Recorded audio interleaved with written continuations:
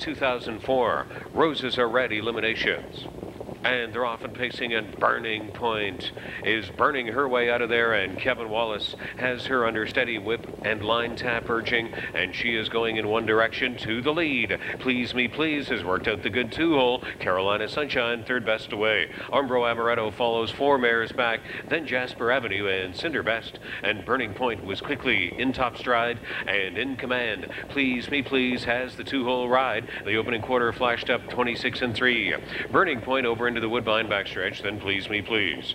Carolina Sunshine and Umbro Amaretto, two and a half more lengths to Jasper Avenue, and Cinder Best, another pair back in sixth position. Positions unchanged, single file alignment, about eight lengths front to back.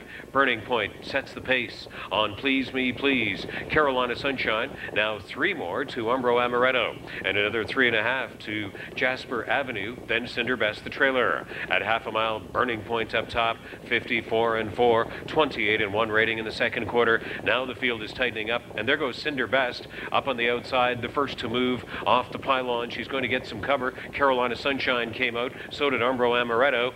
Burning Point, the leader, on the way to the final turn, and Carolina Sunshine popped out of the three hole and drives up. Please Me Please has had a pocket ride all the way. Umbro Amaretto on the outside is fourth, and Jasper Avenue and Cinder Best at the top of the stretch. Carolina Sunshine, Burning Point almost together. One 22 and 4. Third quarter, 28 seconds. Burning Point on the inside. Trying to wear her down has been Carolina Sunshine. Back in third for Please Me Please. Then Cinder Best, Umbro Amaretto, Jasper Avenue. Five out of six are going to go on to the final. And the winner of the first Roses Are Red elimination is Burning Point, wire to wire. Over Carolina Sunshine, Please Me Please. Cinder Best and Jasper Avenue in 150 flat Burning Point.